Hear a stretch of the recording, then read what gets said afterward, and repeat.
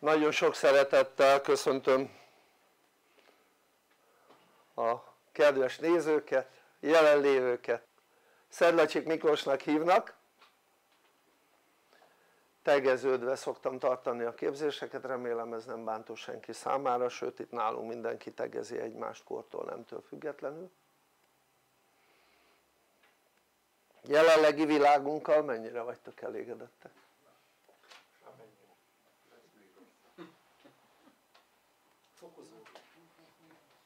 Fokozódik a világ?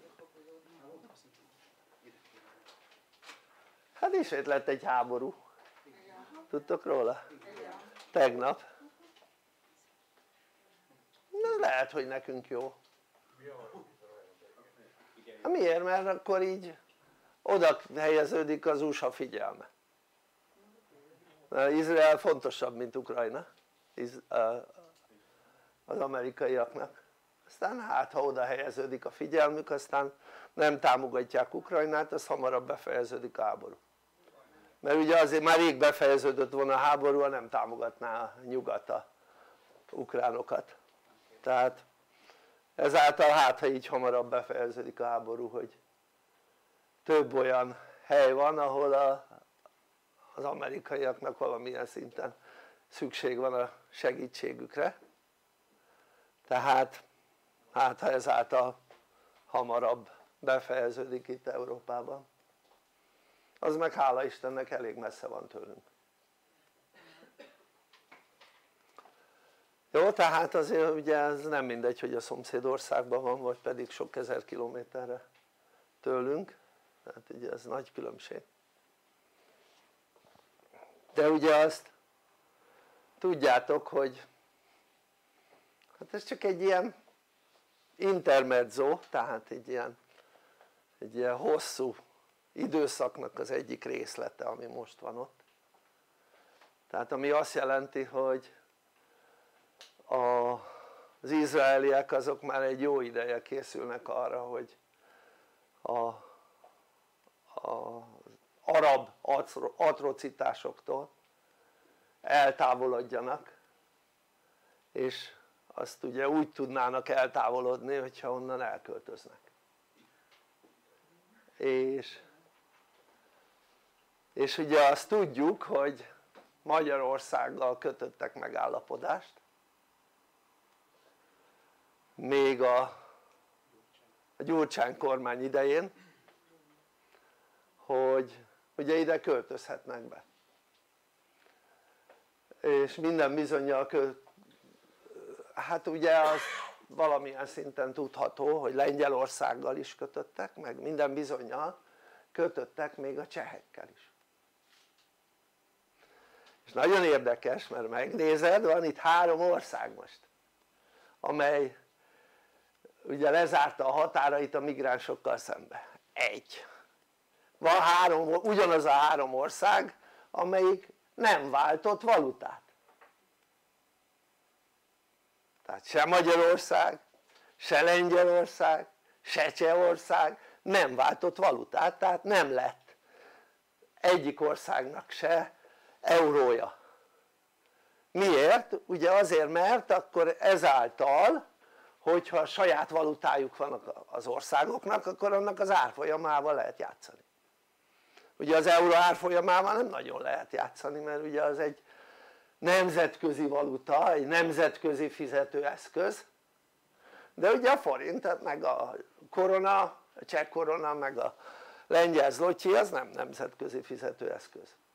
És akkor így ugye ez a három országnak a, a ugye ez a három ország nem is akar idézőjelbe ezt az akart euróra áttérni. Érdekes mód, egyik se.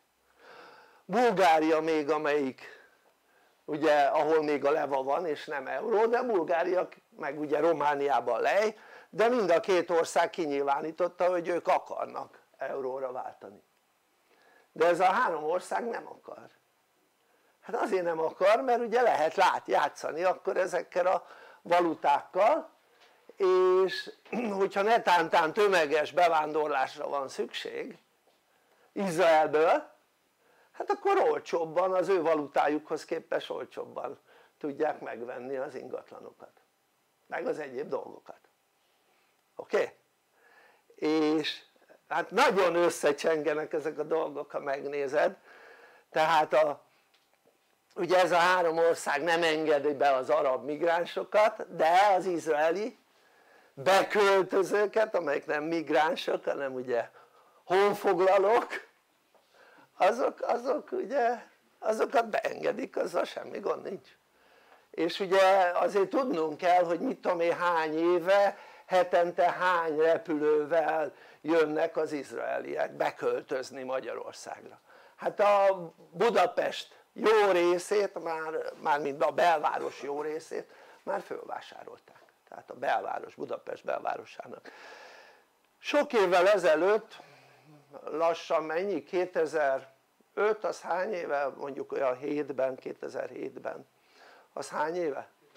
16 évvel ezelőtt ö, mentünk így csoportosan ilyen kis mikrobusszal Debrecenben Debrecenben és ott mondom mi ez a hatalmas építkezési lakótelep és akkor mondja az egyik utas aki így jobban jártas volt ott abban a kérdésben hogy építik az izraeli bevándorlóknak a, a lakótelepet. 16 évvel ezelőtt. Érted? 16 évvel ezelőtt. Szóval ugye ez azt jelenti hogy azért mondom hogy intermezzo tehát egy olyan történet aminek ugye meg kell történnie. Tehát gyakorlatilag ugye az izraelieknek elegük van a, a, a, az arapokból abból a szempontból hogy hogy ugye az arabok vissza akarják maguknak szerezni a, azokat a területeket amin alapvetően ők éltek.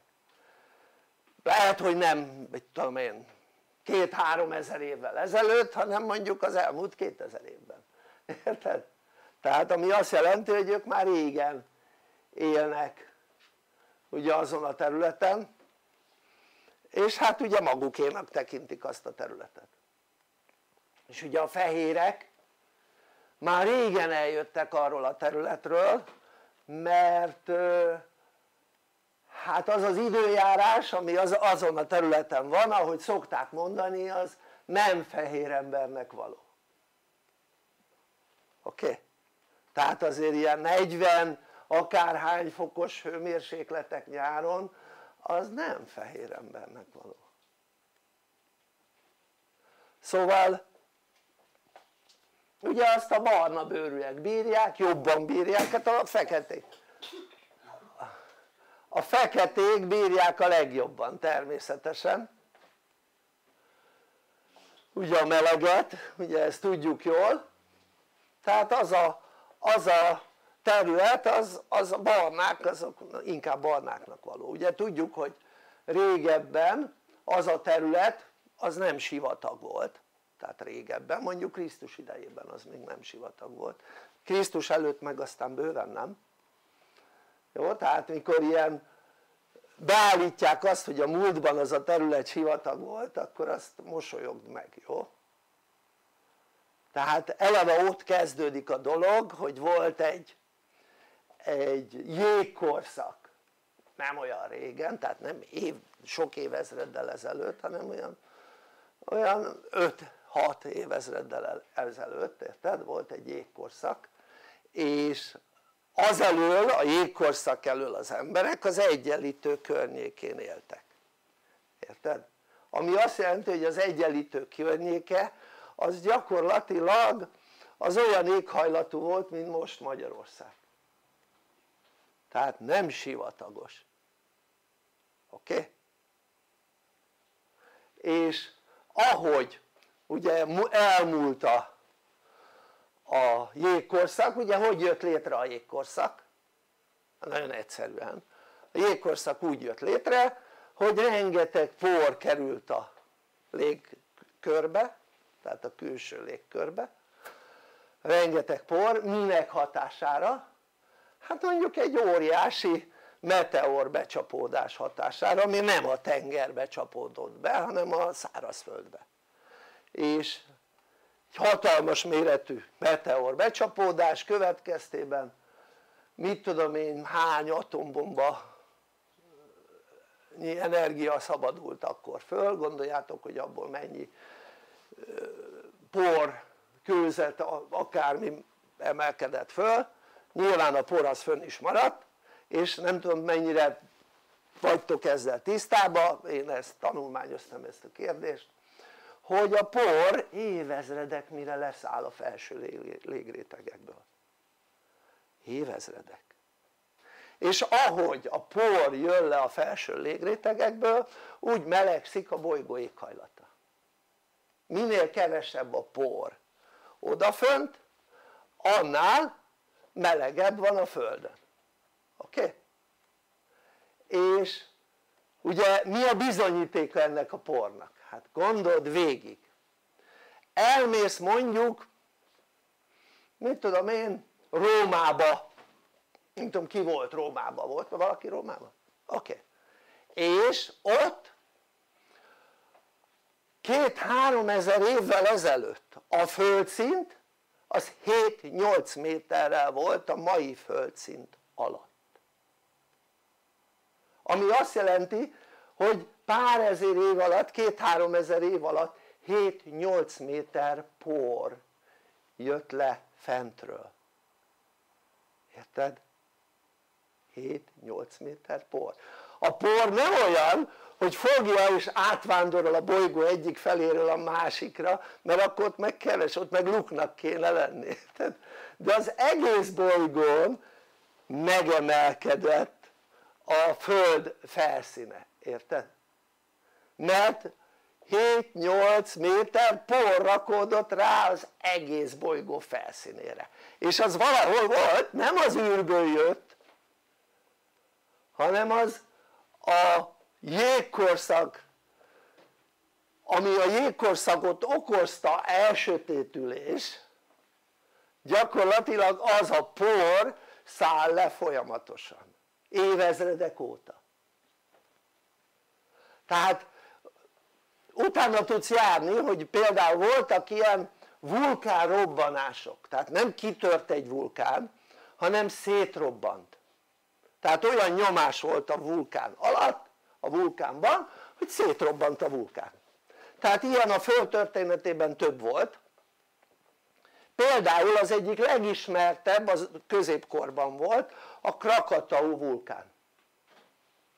De Európában is volt ilyen hogy hívják azt a szigetet ami szétrobbant? a görög sziget, Santorini, így van Santorini is ugyanez volt hát ezért a minoszi fejlett civilizáció ezért tűnt el mert több száz kilométerre olyan nyomást okozott a vulkán szétrobbanása több száz kilométerre hogy minden életet letarolt oké? Okay? minden életet ami azt jelenti hogy az ottani fejlett civilizáció egyik napról a másikra puf elpusztult azért mert a, a Santorini vulkán szétrobbant oké? Okay? tehát a megállapított tény ugye az már mérték a hőmérsékletet hogy a Krakatau vulkán az hány fokkal és hány évig csökkentette a bolygó hőmérsékletét. Hány fokkal, hány évig, most ne 10 fokat gondoljatok, egy pár fokkal. Csökkentette az egész bolygó hőmérsékletét. Tehát annyi por ment föl a felső légrétegekbe, érted? pedig az nem is egy nagy vulkán volt, tehát nem egy szuper vulkán vagy nem egy, egy meteor becsapódás volt hogy több fokkal csökkentette valami másfél-két fokkal vagy három fokkal vagy valami az egész bolygó hőmérsékletét. Mit tudom én valami mire elmúlt a hatás az valami 150 év volt. Egy vulkánnak. Ennek utána tudtok nézni. És tehát lényeg az hogy nem egészen olyan a történelmünk mint amit tanultál nagy tévedésben élnek az emberek ebben kapcsolatban. Tehát itt a, a föld hőmérsékletét így meg lehetne oldani hogy egyik pillanatra a másikra sokkal alacsonyabb legyen a hőmérséklete. Akár több fokkal. Hát nem kellene csak egy nagyobb vulkánt szétrobbantani. Érted? viszont olyan, nyilván olyan helyen ahol nem élnek emberek mondjuk Kamcsatkán érted? ott nem élnek emberek és ott rengeteg vulkán van és egyet mondjuk a szétrobbantanának akkor azáltal annyi hamu és por menne föl a felső régrétegekbe hogy mit tudom én biztosítva lenne akár több száz évre a bolygó hőmérsékletének nem emelkedése oké? Tehát most már megvan a technológia ahhoz hogy fölrobbantsanak egy vulkánt. Simán. Szóval és akkor de ugye ha ezt megcsinálnák akkor nem lehetne ráfogni az emberiségre meg a tehenekre a hőmérséklet emelkedését érted? tehát akkor nem lehetne ráfogni. Tehát nem az emberek miatt emelkedik a hőmérséklet hanem amiatt tehát a hőmérséklet emelkedés az mindig egy ilyen hatalmas robbanás után exponenciális. Tehát ez azt jelenti hogy gyakorlatilag lassan kezd változni a hőmérséklet tehát sokáig gyakorlatilag marad az a hideg és akkor gyorsul a hőmérséklet emelkedés. Tehát az azt jelenti hogy a por az ugye hogy száll lefele tehát nem tehát nem lineárisan emelkedik a hőmérséklet tőle hanem exponenciálisan tehát az azt jelenti hogy később gyorsul az emelkedés és a kezdetben meg lassú az emelkedés és most ebben a felgyorsuló időszakban vagyunk tehát az azt jelenti hogy tisztább jóval a légkörben a levegő oké? Okay? illetve hát ami ott van? Mert nem az a levegő van ott mint ami ugye itt a föld felszínén természetesen. Szóval olyan jól meg tudják etetni az embereket mindennel. Tehát az, az minden embernek tudni kellene hogy államközi megállapodások vannak avval kapcsolatban hogy az izraeliek onnan elköltözhessenek. Mondok példát, nekünk van itt olyan tanulónk aki kín élt évtizedeken keresztül Izraelbe, hazajött és elmondta azt amit én tudtam mit? hogy magyar és lengyel nyelvre tanítják az embereket, a fiatalokat hogy megtanuljanak és utána tudjanak itt boldogulni érted? csak lehet hogy ugye bejött még egy olyan kérdés is azóta hát hogy miért nem mehetnének a csehekhez is hiszen a csehektől is rengeteg ember vándorolt ki a háború idején hát más országokba akik zsidó vallásúak voltak. Azok közül. Jó szóval lényeg az hogy hogy nem is értem hogy hogy, hogy tehát hogy lehet ennyire az embereket megetetni érted? Hogy egyszerűen nem néznek utána dolgoknak meg logika semmi. Érted? Tehát hogy most logikusan végig gondoljuk hogy miből volt egy jégkorszak és hogy tűnt el a jégkorszak, hogy jött létre a jégkorszak, hogy van egy felmelegedés, ez tök logikus dolgok ezek, ezek nem ilyen, nem is kell hozzá semmi ész hogy az ember ezt végig gondolja, érted? tehát, tök, tehát egy tök, tökéletesen érthető, hát minél melegebben tud tűzni a nap annál melegebb van a bolygón, érted?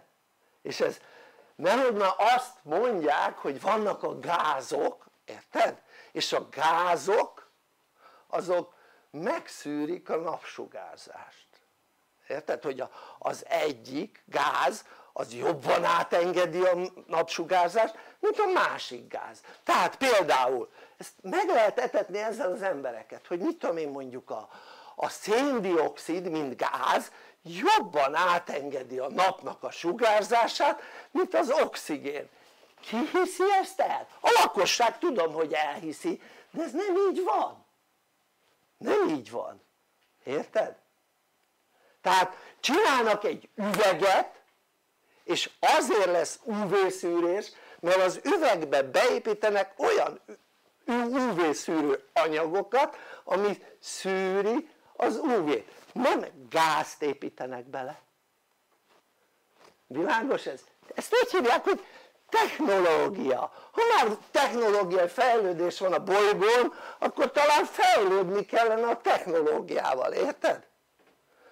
tehát a gázok azok nagyjából egyformán viselkednek a napsugárzásra, érted? mert gáz, az egy légnemű anyag az nem fogja meg a napsugárzást.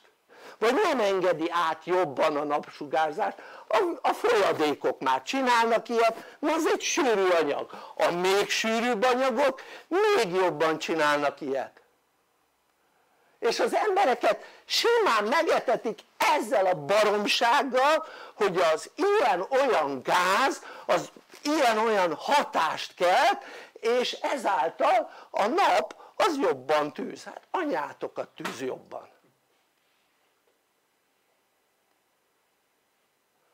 Mondom, és, és az emberek ezeket a maszlagokat elhiszik, ha van fönn por, van fönn korom, na az szűri, mert ez anyag, érted? Ez sűrű anyag, egy porszem az egy sűrű anyag. A korom az kevésbé sűrű, de az is sűrű anyag, egy légnemű anyaghoz képest sokkal sűrűbb tehát minél sűrűbb egy anyag annál jobban sűri a napsugárzást logikus nem? a gáznemű anyagok mióta szűrik a napsugárzást? nem is szűrték sose, nem is fogják sose, érted? olyan mértékben szűrni, természetesen valamilyen szinten szűri, de olyan mértékben mint egy anyag és a por felszáll és szűri a napnak a sugárzását. Olyan mértékben tudja hogy akár éjszakai sötétség borul a földre, érted? annyi por van fönn. Volt ilyen ugye a jégkorszakban. Tehát azon a területen ahol volt a ugye a hatalmas becsapódás ott hetekig sötét volt, érted? hetekig. Hanem hónapokig annó annak idején szóval mondom, ahogy az embereket ezekkel a baromságokkal meg tudják etetni hát egyszerűen szédület, komolyan. És az emberek mindent ami a média fröcsög mindenféle baromságot elhisznek.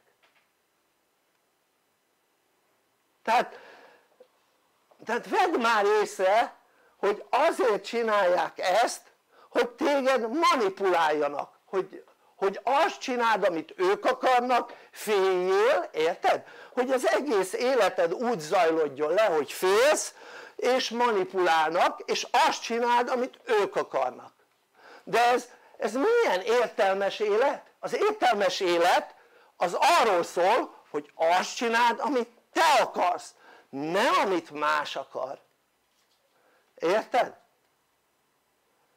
hát egy embernek van esze és el tudja dönteni hogy mi neki a jó. Nem kell hozzá egy másik ember vagy egy média, érted? hogy megmondja neked hogy mi a jó. Hát persze azoknak az embereknek akik már elvették az eszüket hát azoknak nyilván meg kell mondani hogy mit, mit tegyenek. És elég jól csinálták ezt az elmúlt két-három évben ha megnézitek hogy azt mondták hogy ezt tedd és azt tették, oltasd be magad egyszer, kétszer, háromszor, van aki négyszer is beoltatta magát, meg már lehet hogy azóta is oltatta magát, érted?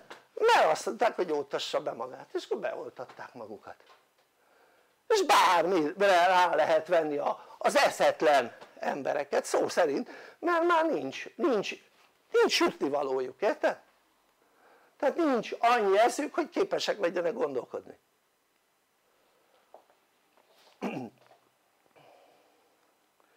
na most honnan származik ez az egész? hogy az emberek emberek ide jutottak hogy nem tudnak gondolkodni hát ugye az én előttem korosztály ugye akik 43 előtt születtek generáció, ugye 25 év egy generáció tehát a 43 előtt, 1943 előtti generáció az nem tévén nőtt föl nem oké? Okay? azt mondja az én generációm abban a 25 évben már tudott tévén fölnőni akik előbb idősebbek tehát közelebb voltak az 1943-hoz nyilván ott kevésbé tévén nőttek föl minél közelebb kerültünk a 68-hoz 1968-hoz annál inkább lehetett mondani hogy tévén nőtt föl illetve 67-hez annál inkább tévén nőtt föl világos ez? na most a tévé milyen hatást kelt? a tévé tudod milyen hatást kelt egy gyerekben? nem a felnőttről van szó. A felnőtt tud különbséget tenni. Tehát a gyereknek van egy nagyon fontos tulajdonsága hogy nem tud különbséget tenni. Tehát nem tud például a jó és a rossz között különbséget tenni.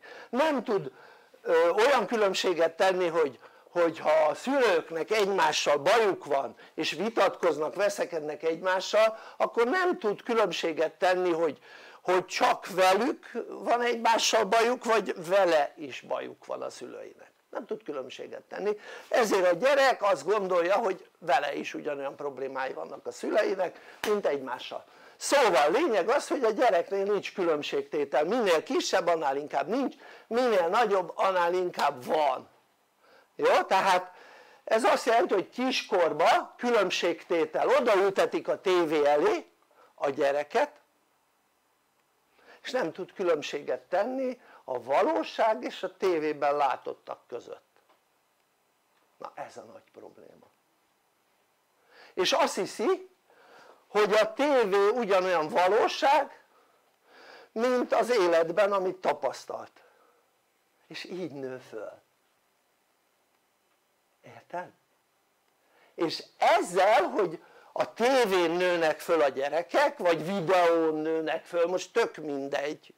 Egy kutya. Ezáltal nem tud felnőttként majd különbséget tenni a valóság és a hazugságok között. Világos voltam? Ez pont passzol most ahhoz a témához egyébként amivel most foglalkozunk a második részben ugye ebben a hónapban a gyereknevelés coach képzésünknél. És megnézed pont így működik. Minél inkább a generációk illetve a, a korosztályok inkább úgy mondanám most mert nem is generációk hanem korosztályok a tévén illetve filmeken nőttek fel tehát videón nőttek fel annál inkább nem tud különbséget tenni felnőttként az egyén a valóság és a hazugság között mert ami a tévében van az soha nem igazság érted? miért? Hát mert az egész az megrendezett. Tehát minden tévéműsornak van rendezője. A tévében nem adnak, nem is adtak le soha olyan tévéműsort aminek nem volt rendezője. Értitek? tehát magyarul az a műsor meg van rendezve ami meg meg van rendezve az nem a valóság. Világos ez? ezt át kellene látni mindenkinek. Tehát te a tévében soha nem a valóságot látod. Tehát például mikor egy film után azt mondják hogy mit tudom én ennek a családnak a története volt ez és a végén akár bemutatják a szereplőket akkor sem a valóság mert nem a szereplők játszották el az ami történt. Világos ez? hanem a színészek játszották el. Tehát a tévében te soha nem látsz valóságot. Például most bemutatnak a mai technológiával bemutatnak mondjuk egy robbantást ahol meghal x ember olyan technológiával meg tudják csinálni hogy meg nem mondod hogy az, az megszerkesztett volt vagy levideózott. Meg nem mondod. Nem tudod megmondani. Tehát te tévénézőként nem tudod megmondani. Nyilván az aki ki tudja elemezni ilyen mit tudom én mindenféle szerkesztő programmal az lehet hogy meg tudja mondani de te nézőként meg nem mondod. És simán meg tudják csinálni mint tudjuk például itt az ukrán háborúnál hogy nem is történtek olyan dolgok amit te láttál videón. Hanem egyszerűen informatikailag megszerkesztették és közreadták. Mint valóságot. Oké? Okay? tehát mondok dolgokat ebben kapcsolatban. Oda ül egy hírbemondó és elmondja a híreket. De az nem a valóság. Az ami történt ott a helyszínen az a valóság. Nem az amit a hírbemondó mond. Nem tudom elég világos voltam-e tehát hogyha mondjuk, mondok egy példát történik egy baleset ez, ez alá van támasztva a biztosítók által alátámasztott történik egy baleset mondjuk van 10 szemtanú oké? És a 10 szemtanú 10 féleképpen írja le a balesetet oké? Okay? Ami azt jelenti hogy abból melyik a tökéletesen igaz? ki tudja ha csak nem vette föl valaki videóra, érted? és a videót utána nem manipulálták nem változtatták meg oké? Tehát most gondold végig egy ilyen világban vagyunk ahol a gyerekeket odaültetik a film elé, a videó elé, a tévé elé, érted? és tökéletesen megtanulja azt hogy nincs különbség. Nincs különbségtétel. Tehát ami a tévéből jön az úgy van. Ami az életben van az úgy van. Nincs különbségtétel. És megnézed a fiatalokat tökéletesen így működnek. Ő számukra nincs különbségtétel. Nem tudják mi a valós és mi a valótlan.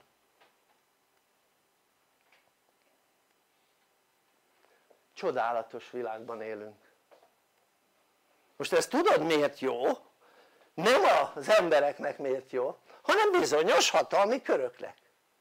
Mert ha az emberek nem tudják hogy nekik tehát hogy mi a valóság meg mi az igazság akkor valóságként bármit be tudnak állítani. És az emberek becumizzák. Szó szerint. Szó szerint. És ha te nem ezt látod a világunkban most hogy erről ugye értesültél tőlem hát akkor te vak vagy, erre azt tudom mondani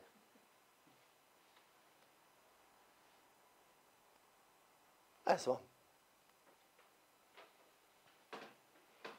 Szóval érdekes világunk van most egy ilyen világban. Nem kellene eszesedni hm? tehát az a jó hogy becumizod a hazugságokat?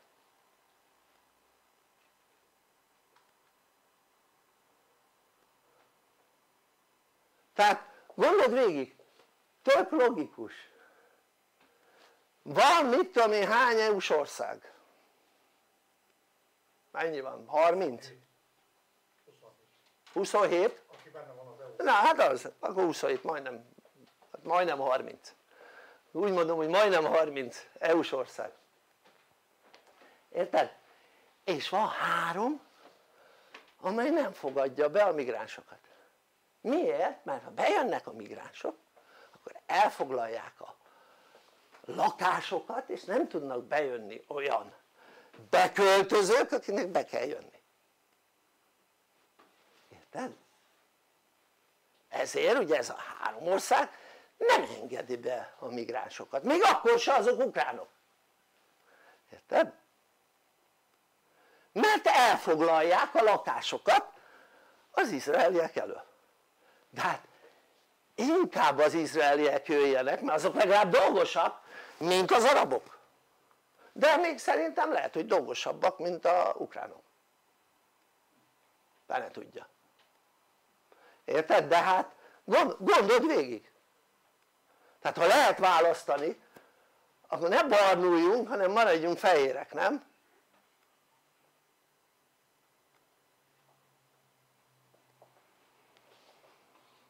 tehát Európa az most éli a népvándor, újabb népvándorlás korát mikor volt az előző népvándorlás?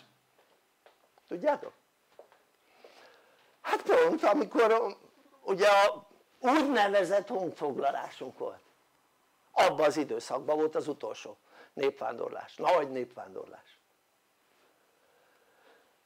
tehát de az nekünk nem honfoglalás volt hanem az egy más történet volt nem egészen hazatérés mert hogyha ha otthon vagy akkor de akkor is mondjuk hazamész igen. De, de ha otthon laksz akkor nem hazatérés van. Tehát ahhoz el kell menni hogy hazatérj. Csak az a helyzet hogy a magyarok illetve az elődjeink a hunok azok innen sosem mentek el. Tehát akkor milyen hazatérés van ahol sosem mentünk el érted? tehát akkor lehet hazatérés ha elmentünk de mi nem mentünk innen el soha tehát mondok példát jó? ha már felhoztad a hazatérést hogy tudtok olyat mondani amiről tudok valami példát mondani vagy történetet, no szóval lényeg az hogy hogy tudjátok hogy házasodtak az elődjeink? István előtti korszakról beszélek, jó? Tehát több mint ezer évvel ezelőtt. Tehát ugye előtte törzsekben éltünk. Tehát István előtt törzsek voltak. Ugye tanultuk is hogy honfoglalás idején is volt 7 törzs. Tehát 896 ha jól emlékszem. Ugye a honfoglalás. De mondom felejtsétek el nincs honfoglalás tehát megállapították azt hogyha honfoglalás lett volna logisztikailag nem kivitelezhető. Mert ott volt példának az oroszok kiköltözése Magyarországról akik sokkal kisebb számban költöztek ki és hány vagon kellett ahhoz hogy kiköltözzenek. Most képzeljétek el a hágókon keresztül, a kárpáti hágókon keresztül hogy cuccolták volna be azt a ménkű sok állatot és ménkű sok cuccot. Sehogy, megállapították hogy sehogy. Gondoljátok végig a magyaroknak az időtájt körülbelül annyi állatállományuk volt mint egész Európának. Hoppá. Mondom akkor a magyaroknak akkor állatállományuk volt mint egész Európának. Rajtunk kívül. Szóval gondold végig egy ekkora állományt hogy hoztak volna át lábon? a hágokon tehát az egész, egész honfoglalás egy nagy kamu. Logisztikailag lehetetlen és mondom abból állapították meg az szakértők hogy amikor az oroszok innen kivonultak hogy mennyi időbe hány vonatba került az hogy ki tudtak költözni és ahhoz képest jóval nagyobb ö, volt a honfoglalás ami nem volt érted? jóval nagyobb tehát az oroszok kivonulásához képest ugye mikor a 90 mikor vonultak ki? kettőben? így van 92-ben szóval az, az a kivonulásról beszélek, arról a kivonulásról és nem is tudom hány hónapig költöztek. Úgyhogy el ennyit. Na most ráadásul még azt is mondták hogy és mi volt a szülőnőkkel? Szülőnőkkel. Hát nem vonattal költöztek lábon. Meddig tartott akkor a honfoglalást és mi, hogy, hogy szültek útközben a nők? Addig nem fogantak gyerekek? Hm? vagy akkor megállították állj most nem megyünk mert éppen öt nő szül hm? hogy? érted? szóval de nem ez a lényeg hanem az a lényeg hogy törzsek voltak jó? tehát törzs, törzsek tehát törzs szövetségben éltünk tehát szövetségesek voltak a hun törzsek ugye meg a magyar törzsek és és ugye egészen Istvánig volt ez a törzsek és tudod hogy házasodtak a törzsek? nem volt belházasság hanem tudod mit csináltak? elmentek több ezer kilométerre párt keresni miért? hát ne legyen vérfertőzés. Tehát a férfiak fogták magukat nem a nők, a nők otthon maradtak. Férfiak fogták magukat, felültek a lóra. Nem tudom tudod-e hogy a instant levest kik találták fel? A magyarok szárították először meg olyan apró kis akármikben így van. A különböző anyagokat. Érted? por alakban és vitték magukkal. És ezzel akár több ezer kilométerre el tudtak menni mert a szárított nem nagy darabok por. És utána csak víz kellett meg egy kis tűz. És meg volt a kaja. Érted? és sok ezer éven keresztül ezt csinálták a magyarok illetve a hunok mert magyarok csak 170-től vagyunk Krisztus után addig hunok voltunk jó? tehát lényeg az hogy hogy fogták, fölkészültek a férfiak kit? milyen férfiak? hát akik párkerestek, a fiatal férfiak és fogta a törzs fiatal férfiai és elmentek párt keresni messzire, érted? na ez volt a honfoglalásunk hogy akkor bejöttek ezekből a törzsekből párt keresni ide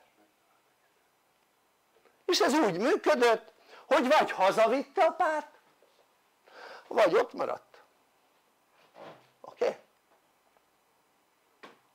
ez így működött tehát az a, a hunoknál ez volt a kalandozás érted hogy a fiatal pártalan férfiak már érett férfiak. Tehát úgy hogy férfi korra megérett férfiak, párkeresési korra megérett férfiak. Fölültek a lovakra, felkészültek előtte csoportosan és mentek több százan. Ez volt a kalandozás. Érted? ez volt a kalandozás. És mentek erre, arra, amarra. Nyilván nem a környéken, nyilván nem Hun törzszövetséghez tartozó ugye közeli törzsekhez mentek hanem távoli törzsekhez. És kerestek párt, akkor mondanám csak ebben kapcsolatban éppen kezdés előtt szóba került hogy a Berlin nevet az ilyen kalandozó magyarok, hunok adták. A Kiev nevet az ilyen kalandozó magyarok adták. A Kisinyov nevet az ilyen, ez, csak mondanám mert ezek fővárosok oké? Okay? az ilyen kalandozó magyarok, hunok adták, érted? és most, mondtam három ismert fő, ugye Kisinyov Moldova fővárosa szóval gondol, mondod végig és akkor ugye ez, ez a honfoglalás hogy jöttek ide a törzsekből a férfiak párt keresni de semmilyen nő nem jött velük meg semmilyen állatállomány nem jött csak a lovak oké? Okay? még szekerek sem csak a lovak tehát ugye akkor nem volt divat hogy tehát nem ilyen nagy termetőek voltak a népek tehát egy férfi az nem 100-120 kilós volt érted? hanem 50 max 60 kiló, érted? ami azt jelenti hogy még nyugodtan el tudott cipelni 20-30 kiló egyéb dolgot a ló nyugodtan érted? mert még úgyse ért el a 100 kilót amit cipelnie kellett szóval hát csak úgy hogy tisztában legyünk ilyen dolgokkal is és akkor így mindent elhitetnek az emberekkel és az emberek elhiszik. Most a, mondok egy példát jó? engem mindig érdekelt a magyar történelem. A többi történelem megmondom őszintén közel sem annyira.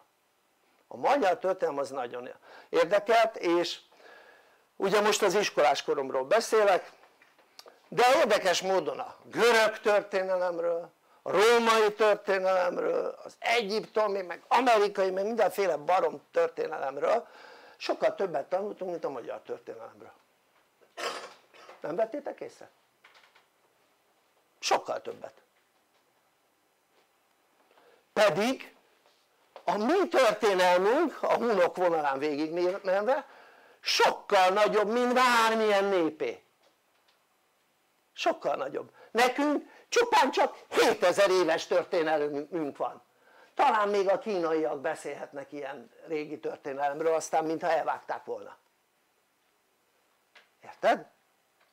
na most tehát 7000 év erre a legnagyobb királyunk szerinted ki volt? Hm? aki, aki tudja az hallgasson, aki biztosan tudja, aki, aki nem tudja biztosan az tippeljen ki volt a legnagyobb királyunk? Hm? tessék? nem, tessék? nem tippeltek? miért nem mondjátok hogy mondjuk Mátyás? Mondjátok, nem az volt de hogy az volt úgy hívták hogy Attila Attila volt a legnagyobb királyunk oké? Okay? figyeld a történelemben nem volt még egy olyan uralkodó amelyik a csendes óceántól az atlanti óceánig uralkodott volna. Tehát a Nagy Sándor kismiska volt hozzá képest. Vagy bármilyen római császár kismiska volt hozzá képest. Tehát Attila a csendes óceántól az atlanti óceánig uralkodott. Oké? Na most a történelmi tanulmányait során az általános iskolában vagy középiskolában ennyi volt róla ennyi. Persze külföldön tanul, én ültem már Attila trónjába is egyébként. Az egyik trónjába. Szóval ennyit tanítanak róla. Arról az uralkodóról tehát Nagy Sándorról többet tanultunk. Sokkal. Semmi közünk hozzá. Érted? mert az Macedón volt és csak a vesztes csatáinkat tanították és közben Attila érted? pedig uralkodott Eurázsián, érted? nem az egészen de akkor is a csendes óceántól az Atlanti óceánig na most tehát itt van egy csomó olyan dolog amiről az emberek nem tudnak tehát azt se tudják hogy volt 24 hun törzsnek a szövetsége. 24 hun törzs. És ez a 24 hun törzs azt vállalta hogy egy magasabb rendű tudást juttat el az emberiség számára. Ezért képzeljétek el szétrajzottak és eljutottak a világ különböző pontjaira Japántól Közép-Dél-Amerika Észak-Amerika Afrika különböző pontjaiba oké? Okay? és vitték a tudást és ezt a törzszövetséget e, több mint ezer évvel ezelőtt felrúgtuk. És ez úgy volt hogyha valamelyik törzs felrúgja ezt a szövetséget akkor ezer éves átok sújtja.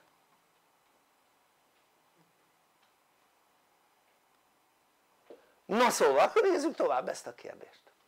Az azt jelenti hogy drága nagyra becsült királyunk István fölrúgta ezt a törzszövetséget koppány az nem akarta fölrúgni koppány bizánci keresztény volt oké? Okay? keresztény volt nem pogány hanem keresztény csak nem római hanem bizánci. Mert akkor a római birodalom már ketté volt esve. Oké? Okay? már rég és külön volt bizánci kereszténység meg római kereszténység tehát bizánci központtal. Mi megnéztük ezt a központot már jártunk arra Törökországba. Tök egész jól látni a romokon a dolgokat. Na szóval a lényeg az hogy gondoljátok végig hogy fölrúgta ez a nagyra becsült királyunk ugye akit ünnepelünk augusztus 20-án ezt az egészet és onnantól kezdve nehezült az életünk egy, kettő küzdhettünk a túlélésre oké? Okay? és nem tudtuk teljesíteni a küldetésünket tehát ami egy népnek a küldetés azt teljesíteni kell. Márpedig nekünk az volt a küldetésünk hogy egy magasabb szintű, egy magasabb rangú, rendű tudást juttassunk el az emberiség számára. És ezt most be lehetne teljesíteni. Ezt csináljuk. Ezt a magasabb rendű tudást juttatjuk tovább. Mert te nem vallod magad hunnak akkor miért van mindenütt? Úgy jelölve a felségjelünk hogy H és miért van mindenütt? Számítógépet bekapcsolod az hogy hú. És miért mindig ott, úgy, ott vagy? Hungary, Hungary stb. mindenütt ott van. Azt mondod a világ különböző pontján hogy magyar vagy és akkor néznek rád bambán, érted? hogy honnan jöttél de azt mondod hogy Hungary vagy nyilván azon a nyelven mondod hogy Hungary, érted? azt mindenütt tudják hogy kicsoda micsoda oké? Okay? tehát például Attilának a katonai stratégiáit mai napig tanítják a különböző katonai akadémiákon. Mai napig. Erre mi tanulunk róla ennyit a történelemkönyvbe röhely. Szóval gondold végig itt van egy nép amely jogutódja a hunoknak. Az egész világ minket tart jogutódnak nem a japánokat, nem a kóriaiakat, nem a mongolokat még csak nem is a bulgárokat, nem is a, a észteket, letteket, kurdokat, nem is a izéket, a, a lapokat, nem ezeket, hanem minket. Oké? Okay? Tehát hogyha mi utódjai vagyunk egy vállalásnak, akkor ezt be kellene teljesíteni. az azt jelenti hogy a Kárpát-medencébe él ez a törzs ami a hunoknak a jogutódja érted? és Kárpát-medencéből kell kiindulnia annak a tudásnak ami magasabb rendű ezzel kapcsolatban már olvastam életemben vagy hét jóslatot érted? hogy jósolták hogy körülbelül ez időtájt itt lesz egy nép a Kárpát-medencében amely eljuttatja az emberiség számára a magasabb rendű tudást én rendelkezem a magasabb rendű tudással. Oké? És hála Istennek megtanultam ezt hogy hogy kell átadni. Ezt a magasabb rendű tudást én egyedül nem tudom átadni. Nekem ehhez társakra van szükségem. És én ezt a magasabb rendű tudást a társaimmal el fogom vinni az emberiség számára oké? Okay? és korszakot fogunk alkotni a béke szeretet korszakát vagy nem kéne ezen a földön béke szeretet? Hm? mi a béke szeretetnek az alapja? kérdezem tőletek, főleg azoktól akik már régebben itt tanulnak na mi? Egy szó. Nem, etika. Etika. A béke szeretetnek az alapja az etikának a tudása és hiába tudsz valamit ha nem használsz. Tudása és használata. Oké? Okay? a tudás önmagában semmit nem ér ha nem használod. Tehát az etika az egésznek az alapja szerinted amikor mondjuk úgy akarnak megoldani egy konfliktust hogy megölik egymást az helyes megoldás? Hm? nem etikus megoldás? nem tehát tisztességes, becsületes mi a harmadik? tisztesség, becsület? erkölcsös, igen, köszönöm szépen nem tehát két értelmes ember akinek mondjuk egymással konfliktusa van leülnek és megbeszélik érted? nem megölik egymást vagy összeverekednek és hülyére verik egymást hanem megbeszélik. Mert ez az etikus. Oké? Két ember ha nem ért egyással egyet akkor ha értelmes emberekről van szó akkor leülnek és megbeszélik. De hát van ebben kapcsolatban egy szabály. Ugye tudjátok jól hogyha két ember nem tud megbeszélni valamit akkor miért nem tud megbeszélni?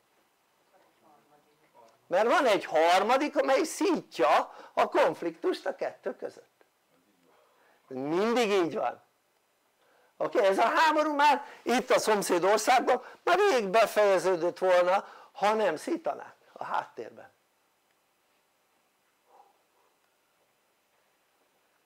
szóval egy érdekes világunk van most ha jobban megnézzük a dolgot itt van ez az izraeli csetepaté. Ugye most ott hadi állapot van ugye Izraelben azt tudjátok. Tehát kiirdették a hadi állapotot tegnap. Tehát szó szerint háború van mert hadi, ha a hadi állapot van akkor háború van. Szóval kinek ez a összecsetepaté kinek a legnagyobb érdeke? Két országnak, az oroszoknak meg a kínaiaknak. Ha nem lenne elég világos ez a kérdés. Tehát ez baromi jól jön most a oroszoknak is meg a kínaiaknak is. Miért? hát mert ugye a legfontosabb szövetségese vajon az Egyesült Államoknak? Kicsoda? nem Nagy-Británia, Izrael. Oké? Okay? tehát Izrael. A legfontosabb szövetségese. Tehát most a legfontosabb szövetségese az hadi állapotban van. Magyarul a legtöbb figyelme most a Amerikai Egyesült Államok vezetésének. Az a logikus hogy Izraelre fordítja az azt jelenti hogy már nem tud annyi figyelmet fordítania az Ukrajnára. Tehát most szerinted mit tudom én segítségért megy támogatásért megy két államfő mondjuk a Netanyahu meg a, ugye az izraeli miniszterelnök meg mondjuk a Zelenszky ugye az ukrán elnök. Szerinted melyiknek fognak adni segítséget? biztos hogy az Zelenszky az esélytelen, az biztos Okay? ráadásul most olvashattál egy cikket a kapcsolatban hogy Zelenszkinek a felesége ameddig ugye ő Amerikában volt most nemrég közben 409 millió forint értékben vásárolt ékszert. Az USA-ban és most, ez most volt, most 409 millió forint értékben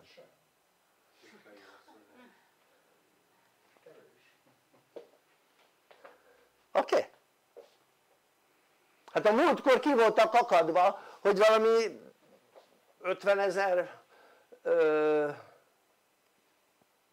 euróért vásárolt ékszert Franciaországban azon ki voltak akadva na most ez viszont több mint egy millió euró, érted? tehát több mint egy millió euróért vásárolt ékszert tehát kevés egy millió euró? El lehet hogy neki kevés de amúgy nem kevés a férje 5 percenként kér egy milliárd eurót nem azért még annyit nem kapott, mit tudom eddig kapott valami 50 milliárd eurót tehát nem olyan sok. Tehát nem, nem olyan sok. Tehát gondold végig egy ilyen világban élünk ahol közben a, az államelnök felesége szórja a pénzt. A múltkor vásárolt Olaszországban meg mit tudom én melyik országban valami bazidrága ingatlanokat az Elenszki na tehát csak úgy példa és közben de egyébként mondtam hogy ugye nemrég voltunk a határszélen rokonoknál és beszámoltak arról hogy ők járnak át Ukrajnába hogy a háború óta jobban élnek a Kárpátalján az emberek mint előtte. Na hogy van ez? tehát Kárpátalján anyagilag jobban élnek az emberek mint előtte. Azóta sokkal több felújítás volt Kárpátalján mint valaha érted? tehát nem a háborúra költik a pénzt hanem megy ide-oda, amoda elmászik oké? Én még olyat nem láttam hogyha háborúban áll egy ország akkor utána az emberek jobban élnek én még ilyet nem láttam és Kárpátalján ez így van de ez tény mondom több rokonom is aki rendszeresen el, átjár elmondták hogy azóta minden virágzik Kárpátalján hát nyilván ők nem messzire mennek be vásárolni mert vásárolni járnak át rendszeresen hanem csak ott a környéken mit tudom én egy 20-30 kilométeres környezetben és az az ország széle hát akkor ország széle, hát nálunk az ország széle mindig a legszegényebb nem? hát nálunk mik, mik a legszegényebb? Borsod, Szabolcs, az ország széle oké? Okay? na szóval érdekes világunk van tehát térjünk csak vissza oda hogy gondold végig nekünk van egy feladatunk magasabb rendű tudást kell jutatni az emberiség számára mi az hogy magasabb rendű tudás? nézzük jó? Tehát mi kell ahhoz hogy egy ember ugye tehát miből áll össze a társadalom? hát csoportokból nem? tehát a társadalom csoportokból áll össze most hogy az, azt falunak hívjuk vagy városnak vagy mit tudom bármilyen közösségnek az mi csoport? tehát a társadalom csoportból áll, csoportokból áll a csoportok miből állnak?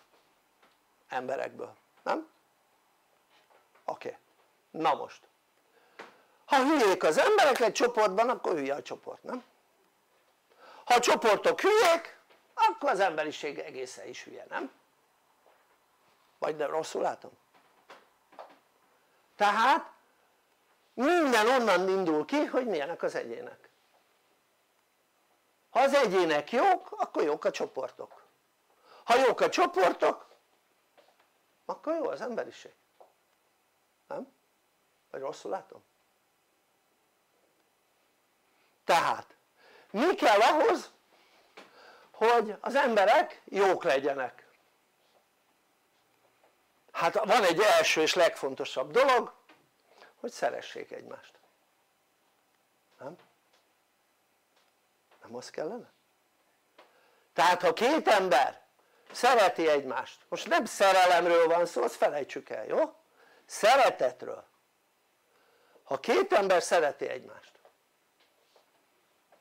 tehát fejezzük ki akkor konkrétabban a szeretetet tehát érzelmi tehát pozitív érzelem van köztük oké? Okay? tehát nem szerelem tehát nem szexuális vonzatú jó? Hát a barátok sem szexuálisan szexelnek egymással hanem csak spontán szeretik egymást, vagy rosszul látom? tehát hál' Istennek a magyar szó vagy a magyar nyelv az jól megkülönbözteti ezt a két dolgot jó? tehát még egyszer hangsúlyozom nem szexuális indítatású szerelem hanem mondjuk baráti indítatású szeretet, világos? illetve nem szexuális indítatású szeretet hanem baráti indítatású szeretet tehát két ember ha szereti egymást barátkozik egymással tehát szereti egymást akkor elég jól meg tudnak állapodni dolgokban, nem? sőt barátok kiválóan tudnak együttműködni éppen a minap is láttam valami céget, ilyen nagy világcég amit két ember alapított két barát és mai napig is működik az a cég, érted? tehát több ilyen volt hogy két barát alapított egy céget és gyönyörűen működött szóval lényeg az hogy hogy ugye a leges legfontosabb lenne ahhoz hogy az ember jól tudjon együttműködni másokkal hogy képes szeretni, nem? Vagy rosszul látom? ennyi az idő be kell fejeznem de most ahhoz hogy valaki képes legyen szeretni mi kell? hát az hogy az életében jól működjön, nem? tehát nem tudom észrevetted hogyha az életed jól működik akkor jobban érzed magad, nem? Minél rosszabbul működik az életed annál rosszabbul érzed magad, nem? tehát kell az hogy az ember jól érezze magát. De ahhoz kell boldogulni az életben. Milyen területeken? itt van 10 terület. Ezeken a területeken. Kell boldogulni. Méghozzá jól. Tehát ha az emberek jól boldogulnának ezen a területen akkor jól éreznék magukat ha jól érzi az ember magát akkor sokkal több szeretet van benne és ki is kimutatható szeretet van benne mint egy olyan emberbe aki rosszul érzi magát. Egyetérthetünk ebben? tehát ez azt jelenti hogyha az ember jól érzi magát akkor képesebb a szeretetre sokkal mint ha nem érzi jól magát. Ennyire logikus. És ez így működik. És ha valaki ezt meg akarja cáfolni akkor én azt mondom hogy elnyomó oké? Szó szerint tehát ő másoknak rosszat akar azért hogy ő érvényesüljön szóval itt van ez a tíz terület, ha az ember ezeken a területeken tudna boldogulni akkor mi történne? jobban érezni magát a bőrében világos ez? és ha jobban érezné magát a bőrében több szeretetre lenne képes. Ha több szeretetre lenne képes könnyebben együttműködne másokkal. Nem? és ez mindenkire igaz mert ha két emberben több a szeretet akkor két ember jobban tud együttműködni. Tehát itt nem arról szól a történet hogy csak az egyik szeret a másik meg gyűlölködik. Nem erről szól hanem mindenkiben emelni kellene a szeretet képességét az pedig akkor emelkedik hogyha jó hangulatban van egy rossz hangulatú embernél hol láttad azt hogy ki tudja fejezni a szeretetét? hol láttál ilyet? Hm?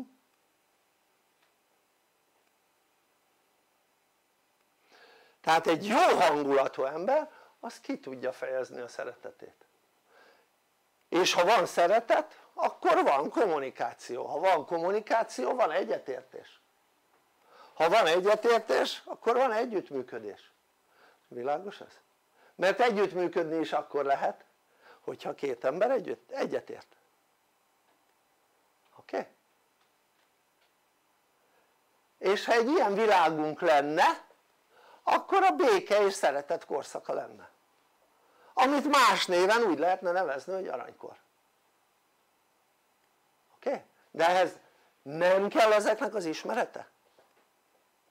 Tehát a kormány ad neked avval kapcsolatban ismereteket hogy hogyan bánjon magaddal, hogy jobban bánjon magaddal. Vagy a kormány, bármilyen kormány adott avval kapcsolatban tudást hogy jobban bánja pároddal, szüleiddel, gyerekeiddel, másokkal, munkáddal, pénzzel, környezeteddel, hatóságoddal, Isteneddel. Láttál már ilyen kormányt? mert én még nem de ezen a bolygón még senki nem látott olyan kormányt amely ezen a tíz területen tudást adna az embereknek tehát miért a kormánytól várod az életedre a megoldást? a kormány leszart téged oké? Okay? szó szerint oké? Okay? A megoldásod saját magadnak te vagy és nem más még csak nem is a párod világos ez? hanem te saját magad és vagy tanulsz vagy nem fogsz részt venni az aranykorban a szeretet béke korában mert addigra kivonnak az élők sorából oké? Okay? Vagy te, te vonod ki magadat az élők sorából, most ez részletkérdés. Ennyi. Jó? ezen a bolygón legkésőbb 2035-re aranykor is. Tehát szeretett béke korszakának kéne lenni aranykornak. Szóval vagy megcsináljuk vagy megyünk a levesbe, kész, ennyi. Jó? nálunk a tudás az 9 évnyi havonta 30 óra tudásunk, tudásátadásunk van akkor számolt ki hogy az 9 évnyi tudás az mennyi oké? Okay? és nehogy azt hitt hogy utána már nem lesz mit tanulni jelenleg 9 évnyi oké? Okay? tehát jelenleg az első hónap az nagyon akciós 19.700 forint, a második hónaptól pedig 12.500 forint a tandíj. Ha ezt lebontod ezt a 12.500 forintot, ez 420 forintra jön ki óránként. Hol kapsz? Mit kapsz 420 forintért? Egy kiló kenyeret nem kapsz 420 forintért. Egy fél kilót, igen. szóval rendszeresek a képzéseink heti kétszer vasárnap mindig ebben az időpontban, szerdán pedig egy kicsit későbbi időpontban, tehát 6 órai kezdéssel, nem fél ötös kezdéssel jó? tehát nem az a kérdés ezt megkeresem hol van? valahol van, meg kell keresnem aha, itt van. Nem. Jó, hát akkor vissza. Előbb van.